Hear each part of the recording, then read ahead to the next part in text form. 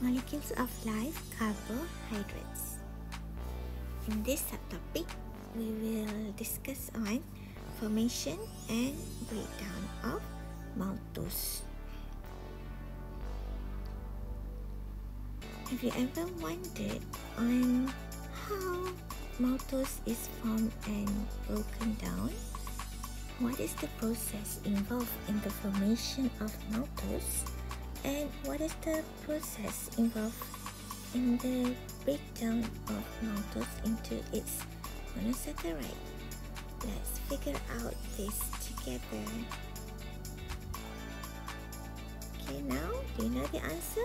Yes, maltose is formed through condensation and broken down through hydrolysis process.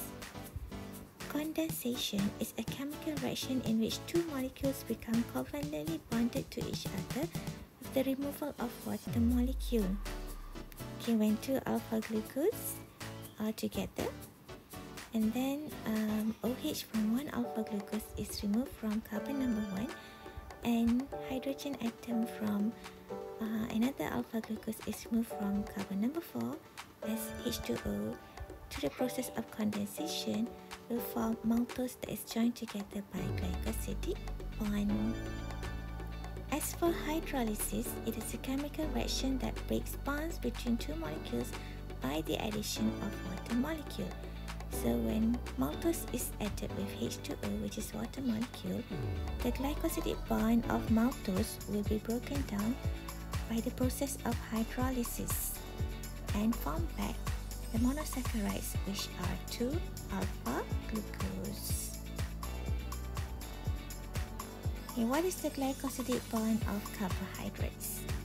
It is a bond that is formed between two monosaccharides and the process that form the bond is through condensation reaction which is by removal of water molecule and it is broken down through hydrolysis reaction by the addition of water molecule.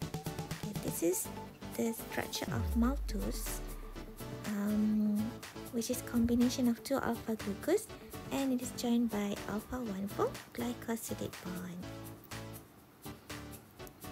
Okay, so we now know that maltose is formed through condensation reaction by removal of water molecule and breakdown through hydrolysis reaction by the addition of water molecule. Hope that helps to understand on how maltose is formed and broken down. Until we meet again, see you later. Bye bye. Don't forget to complete your tutorial. Eh? Thank you.